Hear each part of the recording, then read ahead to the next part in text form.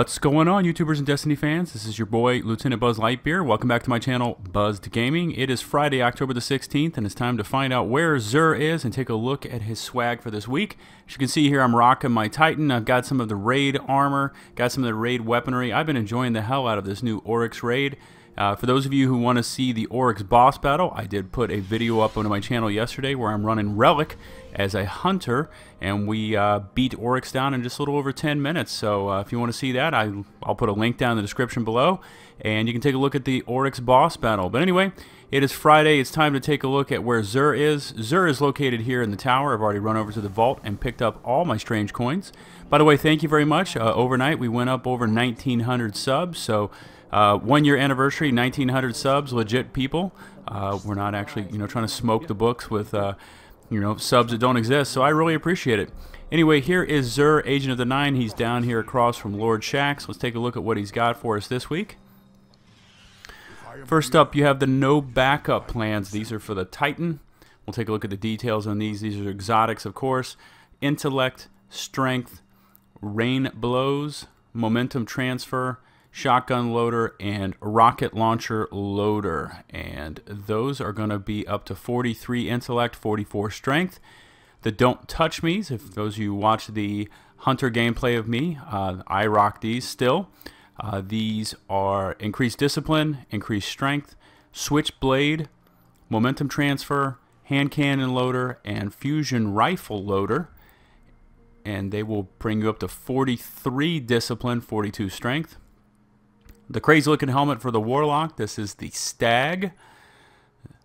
You have over here do, do or die, increased discipline, increased strength, hands-on, heavy lifting, and invigoration. And those are going to pop your stats up to 49 discipline, 46 strength. And this is the first week they've brought us uh, one of these new uh, Taken King weapons. This is Hereafter. This is a sniper rifle. Let's take a look at the details for this one we are looking at the hereafter. Crouching increases scope zoom and makes it easier to aim under fire. Smooth ballistics, linear compensator, aggressive, aggressive ballistics, excuse me. Perfectionist. Uh, that is, magazine is refunded if all shots fired are precision kills. Snapshot, injection mold, and speed reload. And the final perk is blinding. Precision kills with this weapon have the chance to cause a bright flash that can blind nearby enemies. So it's kind of like Firefly, but instead of making things explode when you hit a precision shot, apparently it sets off like a like a flare, and uh, it will blind everyone around you. Legacy Engrams are back. Whatever you do, don't buy these things. They are absolute garbage. Void Drive, garbage. Stealth Drive, garbage. Three of coins, excuse me, uh, Heavy Ammo Synthesis, uh, three for one strange coin. The three of coins are back.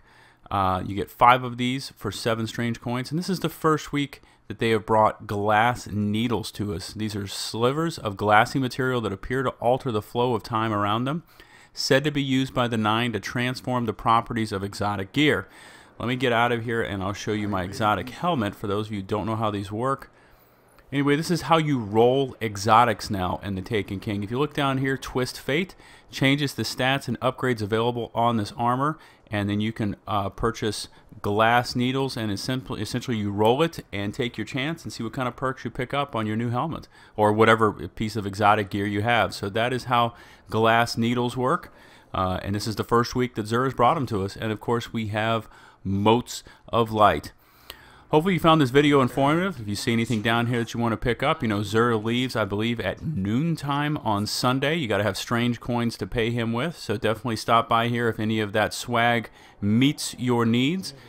Until my next Where's Xur video, this has been your boy Buzz. Hopefully I see you Guardians on the Destiny battlefield. Remember for my channel, likes, comments, subs are loved. Peace out.